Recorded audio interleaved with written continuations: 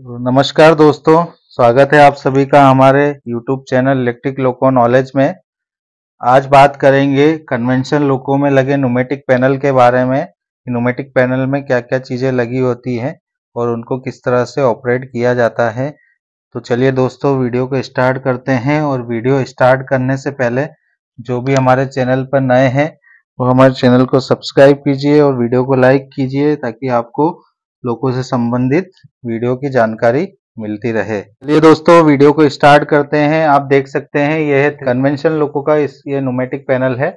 अब इसमें क्या क्या चीज़ें लगी है, उसके बारे में हम डिटेल में आपको जानकारी देते हैं। सबसे पहले यहाँ ऊपर की तरफ़ आप देखेंगे तो यह है डिस्ट्रीब्यूटर वाल या सी थ्री डब्ल्यू वाल इसमें ये जो हैंडल है, ठीक है, इसकी दो पोजिशन होती है गुड्स और पैसेंजर अभी ये पैसेंजर पोजीशन पे है, अगर इसको चेंज करेंगे तो ये गुड्स पोजीशन पे आ जाएगा। ओके ये है डिस्ट्रीब्यूटर वाल उसके बाद यहाँ आगे की तरफ़ बढ़ेंगे तो ये है लिमिटिंग वाल लिमिटिंग वाल मतलब जो ए से हम प्रेशर लगा ए से जब हम ब्रेक लगाते हैं तो जो ब्रेक सिलेंडर में प्रेशर जाता है 1.8 पॉइंट का, वो इसी वजह से जाता है। यहाँ पे देखिए 1.8 लिखा हुआ भी है तो ये लिमिटिंग वाल है। उसके बाद यहाँ ये डिस्ट्रीब्यूटर वाल या सी थ्री डब्ल्यू वाल का ये आइसोलेटिंग हैंडल है, ठीक है? अभी ये नॉर्मल पोजीशन में आइसोलेट करना होता है तो इसको इस तरह कर देता है आइसोलेट हो जाता है। ये नॉर्मल पोजीशन में है, ठीक है?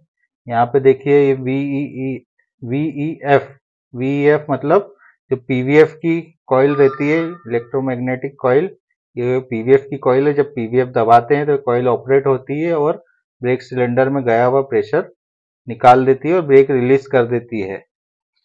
ठीक है। उसके बाद यहाँ पे आप देखेंगे तो ये कॉक दिया हुआ है, ठीक है, आरजीईबी। आरजीईबी जो प्रेशर गवर्नर रहता है, ये उसका आइसोलेटिंग कॉक है। अगर ये कॉक बंद रहेगा तो लोगों में नोच आने की समस्या भी आ सकती है। ये जो कॉक है, आप यहाँ पे ये जो कॉक देख रहे हैं, ये आईपी मैग्नेट वाल का आधा इंची कॉक है।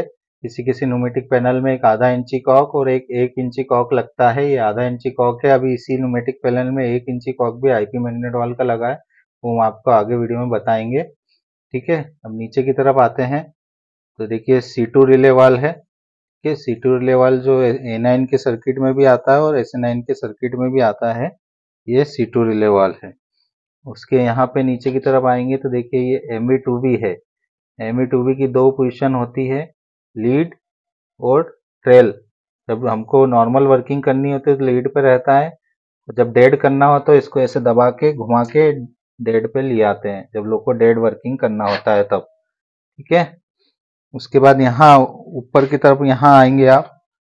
डिस्ट्रीब्यूटर वाल के जस्ट नीचे की तरफ़ देखेंगे तो ये बीपी चार्जिंग कॉक है। ये वाला बीपी चार्जिंग कॉक है। एक इंची बीपी चार्जिंग कॉक बड़ा कॉक रहता है, एक इंची ये बीपी चार्जिंग कॉक है लोको डेड करने में, इसको भी हमको बंद करना रहता है। अभी ये नॉर्मल पोजिशन में है, ठीक है? उसके जस्ट पास में यहाँ देखिए ये आईपी आईपी मैग्नेट वाल का आइसोलेटिंग कॉक है। तो ये एक इंची कॉक है। अभी हमने इसके पहले आधा इंची कॉक भी आपको बताया था। इसकी नॉर्मल पोजिशन ऐसी रहती है। अगर इसको आइसोलेट करना है तो इस तरह से आइसोलेट किया जा सकता है। उसके बाद आप यहाँ पे देखेंगे तो ये आर प्रेशर गवर्नर है। RGB, pressure governor. ठीक है? यहाँ पे ये जो है एयर स्टेनर है, जो कंप्रेसर से एयर बनती है, उसमें कुछ डस्ट पार्टिकल रहते हैं तो उसको क्लीन करके आगे सिस्टम में भेजता है, ये एयर स्टेनर है। ठीक है? उसके बाद यहाँ पे आएँगे। तो ये एपी का आइसोलेटिंग कॉक है फ़ीड पाइप का आइसोलेटिंग कॉक है जो 6 केजी प्रेशर हमारे लोको में आता है तो जब लोको डेड करना रहता है तो इसको हम बंद करते हैं इस तरह से। और जब नॉर्मल लोको वर्किंग करता है तो ये ओपन पोजीशन इसकी इस तरह से ओपन पोजीशन रहती है। उसके जस्ट पास में यहाँ पे ये जो कॉइल लगी है ईपी मैग्नेट वाल बोलते हैं, ठीक है? तो ये जो कॉइल लगी है, ये आईपी मैग्नेट वाल की इलेक्ट्रिक कॉइल है। आईपी मैग्नेट वाल जो लगता है, उसकी इलेक्ट्रिक कॉइल है।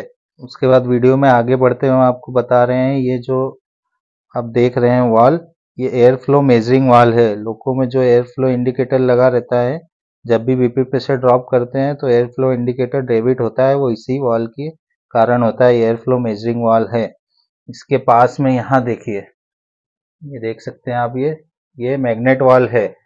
जब भी हम बीपी को फास्ट चार्ज करना चाहते हैं फास्ट रेस से बीपी को चार्ज करना चाहते हैं तो 90 एम mm का बड़ा होल जब बीपीएसडब्ल्यू स्विच को दबाएँगे तो 90 एम mm का होल हो जाता है और बीपी फास्ट रेस से चार्ज होता है। तो ये मैग्नेट वॉल है।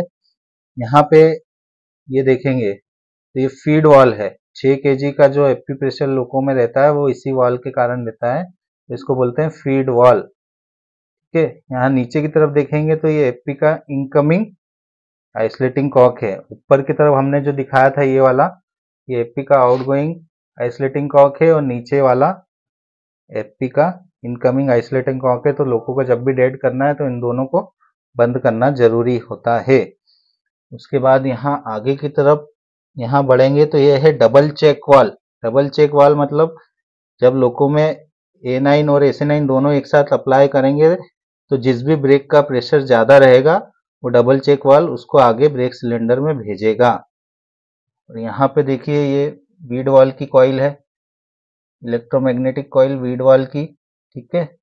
और वीड वाल में कहीं लीकेज हो जाता है तो उसके लिए उसी के ऊपर ये आइसोलेटिंग कॉक दिया है, वीड वाल का आइसोलेटिंग कॉक दिया हुआ है।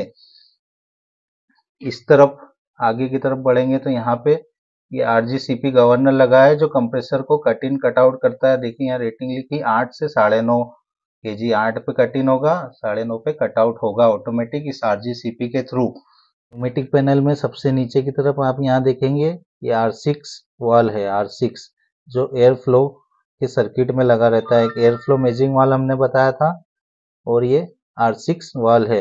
देखिए ये एयर फ्लो मेजरिंग वाल इधर लगा हुआ है, उसी के जस्ट पास में नीचे की तरफ़ आर सिक्स वाल लगा हुआ है, जो एयर फ्लो सर्किट में काम आता है। उसके बाद आप यहाँ देखेंगे तो ये आरजीएफ प्रेशर गवर्नर है। ये भी एयर फ्लो के सर्किट में लगा रहता है। ये P1 प्रेशर स्विच है। P1 pressure switch auto pressure light के सर्किट में लगा रहता है। और इधर यहाँ पे देखेंगे, ये पी टू प्रेशर स्विच है। ये दोनों ही ऑटो प्रेशर लाइट के सर्किट में लगे रहते हैं। जब भी हम बीपी को ड्रॉप करते हैं ए नाइन द्वारा तो ऑटो प्रेशर लाइट नहीं जले। उसके लिए इन दोनों के कॉन्टेक्ट अलग अलग वे में यूज़ किए हैं। और आर एस वाल जब खोलते हैं तो ऑटो प्रेशर लाइट जले, उसके लिए इनका कॉन्टेक्ट अलग अलग यूज़ किया गया है। उसकी डिटेल में वीडियो हम आपको बाद में बनाकर बताएँगे। तो दोस्तों, आज हमने आपको कन्वेंशन लोको में लगे न्यूमेटिक पैनल के बारे में पूरी डिटेल में जानकारी दी है। और इससे संबंधित कुछ भी आपको डाउट हो तो आप कमेंट करके हमको पूछ सकते हैं। और वीडियो अच्छा लगे तो वीडियो को लाइक कीजिए और हमारे चैनल को सब्सक्राइब कीजिए।